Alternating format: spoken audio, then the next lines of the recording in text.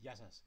Ε, θα προσπαθήσω να εξηγήσω μέσα σε λίγα λεπτάκια ε, το τι σημαίνουν οι αρνητικές τιμές πετρελαίου που είδαμε αυτή την εβδομάδα. Και προφανώς, θα, όπως καταλαβαίνετε, δεν σημαίνει ότι θα μας πληρώνει κάποιος για να πάμε ε, να βάλουμε βενζίνη στο, στο βενζινάδικο.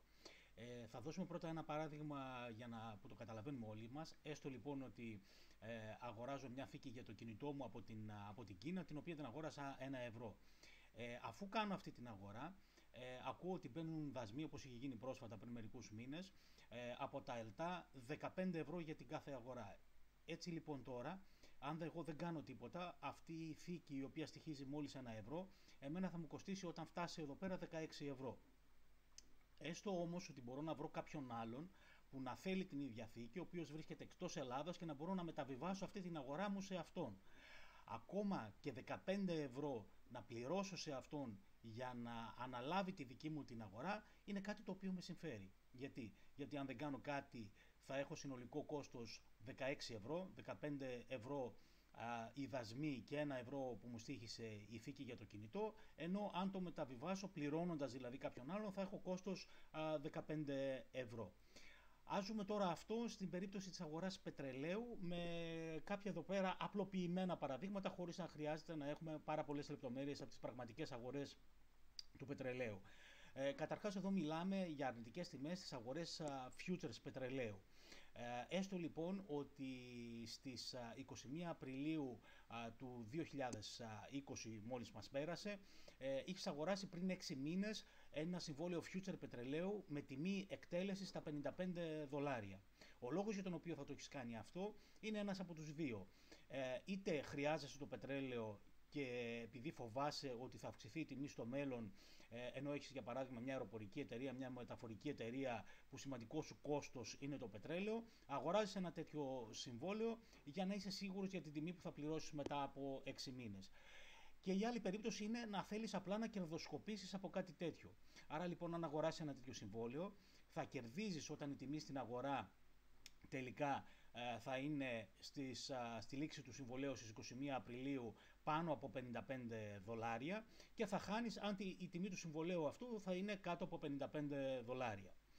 Αν τώρα το συμβόλαιο future που έχεις πάρει ήταν ένα συμβόλαιο σε πετρέλαιο Brent που είναι το πετρέλαιο της βόρειας α, θάλασσας και σε αυτό αποτιμώνται το 3 τέταρτα περίπου του πετρελαίου ε, παγκόσμια τότε ε, στις 21 Απριλίου που λύγει το συμβόλαιό σου και στην αγορά το πετρέλαιο στην ελεύθερη έκανε 20 δολάρια περίπου το, το βαρέλι, ουσιαστικά εσύ χάνεις 35 δολάρια το βαρέλι. Δηλαδή εσύ είσαι αναγκασμένος να το αγοράσεις μέσω του συμβολέου Future στα 55 ενώ στην αγορά έχει 20 δολάρια Άρα λοιπόν ε, έχεις χάσει 35 δολάρια. Τι γίνεται σε αυτή την περίπτωση, κάνεις μια κατάθεση αυτή τη διαφορά των 35 δολαρίων στο λογαριασμό αυτού που σου πούλησε το πετρέλαιο και τελειώνει η υπόθεση εκεί πέρα και πας να πιείς, να ξεχαστείς για την απώλεια που είχες τελικά από αυτό το συμβόλαιο το οποίο έχεις κάνει. Α δούμε όμως τώρα τι, έγινε, τι γίνεται στις αγορές, όπως είναι το, την αγορά του West Texas Intermediate, που είναι η αμερικάνικη αγορά πετρελαίου, ε, στο Cushing της Οκλαχώμα, ε, που εκεί παρατηρήθηκαν αυτές οι αρνητικές τιμές. Ε, καταρχάς εδώ πέρα να πούμε ότι υπάρχει μια σημαντική διαφορά εδώ πέρα στο πετρέλαιο WTI West Texas Intermediate σε σχέση με το προηγούμενο παράδειγμα του Brent στο ότι το West Texas Intermediate έχει physical delivery στη λήξη του. Αυτό σημαίνει δηλαδή ότι στις 21 Απριλίου που λύγει το συμβόλαιο που έχεις αγοράσει εσύ 6 μήνες πριν πρέπει να παραλάβεις από το casting της Οκλαχώμα ε, σε free on board το πετρέλαιο το οποίο έχει αγοράσει. Free on board σημαίνει ότι ε, πρέπει το πετρέλαιο ε, να το πάρεις από εκεί πέρα από την αγορά αυτή, να το αποθηκεύσεις, να το μεταφέρεις εκεί που θέλεις να το πας και να το ασφαλίσεις. Επομένως λοιπόν υπάρχουν κάποια έξτρα κόστη. Τι γίνεται συνήθως σε αυτές τις περιπτώσεις; Ε, η περισσότερη συντριπτική πλειοψηφία δεν κάνουν όλη αυτή τη διαδικασία να κουβαλήσουν το πετρέλαιο από την Οκλαχώμα ε, οπουδήποτε στον κόσμο έχουν αγοράσει ε, τα συμβόλαια αυτά. Απλά την προηγούμενη μέρα, μια μέρα πρωτού λήξει το συμβόλαιο αυτό, το πουλάς για να αποφύγεις τα παραπάνω κόστη και συνήθως σε νορμάλ συνθήκες η τιμή αγοράς που ισχύει της τρέχουσας και του, η, τιμή του future είναι σχεδόν α, φτάνουν πολύ, πολύ κοντά ε, και έτσι δεν, παρατηρούν, δεν παρατηρούνται αρνητικές τιμές. Για να δούμε τώρα τι έχει γίνει τώρα και παρατηρήθηκαν οι αρνητικές αυτές τιμές. Έχουμε εδώ πέρα ε, δύο σημαντικές ε, εξελίξεις. Πρώτα έχουμε την εμφάνιση του ιού, η οποία μείωσε την παγκόσμια ζήτηση σε πετρέλαιο, καθώς πολλές βιομηχανίες έχουν κλείσει, οι αεροπορικές εταιρείες δεν δουλεύουν, οι μεταφορές έχουν περιοριστεί, εμείς δεν χρησιμοποιούμε τα αυτοκίνητά μας, πολλές εταιρείες δεν δουλεύουν, χαμηλή κατανάλωση ενέργειας κτλ. Όπως καταλαβαίνετε, μειώθηκε πάρα πολύ σημαντικά η ζήτηση πετρελαίου. Από την άλλη, έχουμε μια πολύ μεγάλη αύξηση της προσφοράς του πετρελαίου, κυρίως γιατί είχαμε ένα πόλεμο ε, τιμών μεταξύ του ΟΠΕΚ και της Ρωσίας και ο πόλεμος τιμών αυτός γίνεται μέσω της αύξησης της παραγόμενης ποσότητας πετρελαίου. Έτσι λοιπόν πέφτει η τιμή του πετρελαίου από την μεγάλη αυτή παραγωγή, πέφτει και από την μείωση της ζήτησης και έτσι έχουμε μια, ε, να αναπτύσσονται τεράστια πλεονάσματα πλέον πετρελαίου στην παγκόσμια αγορά. Ω αποτέλεσμα αυτού είναι ότι έχουν γεμίσει όλοι οι αποθηκευτικοί χώροι, ακόμα και τα tankers χρησιμοποιούνται πλέον όχι για να μεταφέρουν πετρέλαιο, αλλά για να αποθηκεύουν πετρέλαιο και, το, και η τιμή του κόστους αποθήκευσης, ε, αποθήκευσης έχει εκτιναχθεί. Άρα λοιπόν εγώ τώρα που έχω αγοράσει ένα τέτοιο συμβόλαιο future στο WTI πετρέλαιο, ε, στις 20 Απριλίου χάνω τόσο από την πτώση της τιμής του πετρελαίου, χάνω 35 δολάρια όπως και στο Brent, αλλά αν κρατήσω αυτό το συμβόλαιο θα χάσω και τα αποθήκευτρα και τα άλλα κόστη που έστω όλα αυτά μαζί είναι 10 δολάρια. Συνολικά δηλαδή θα χάσω 45 δολάρια αν κρατήσω αυτό το συμβόλαιο μέχρι την επόμενη μέρα που είναι η λήξη του.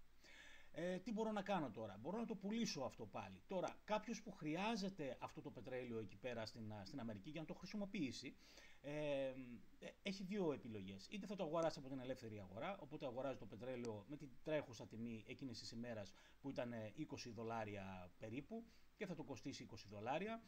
Είτε θα επιλέξει να αγοράσει το future μου που θέλω εγώ να ξεφορτωθώ για να γλιτώσω όλα αυτά τα κόστη, τα έξτρα της αποθήκευσης.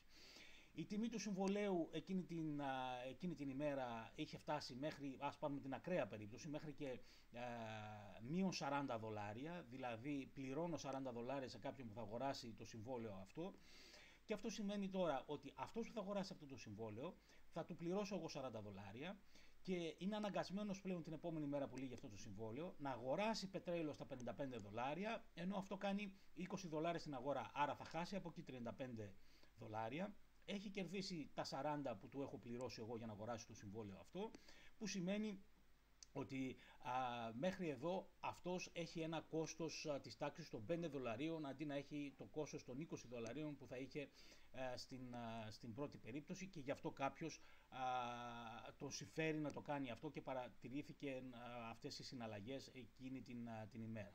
Εγώ από την άλλη πλευρά που είχα αυτό το συμβόλαιο αντί να κρατήσω το future που είχα αγοράσει και να χάσω 35 δολάρια από το future, από τη διαφορά της τιμής, συν 10 δολάρια από τα επιπλέον κόστη αποθηκευτικά, ασφάλειες, μεταφορές κτλ, συνολικά 45 δολάρια, πλήρωσα 40 δολάρια για να το ξεφορτωθώ, να το μεταβιβάσω σε κάποιον άλλον αυτό το συμβόλαιο. Άρα συνολικά πλέον τώρα έχασα 40 ε, δολάρια αυτά που πλήρωσα στον άλλον για να του μεταβιβάσω το συμβόλαιο.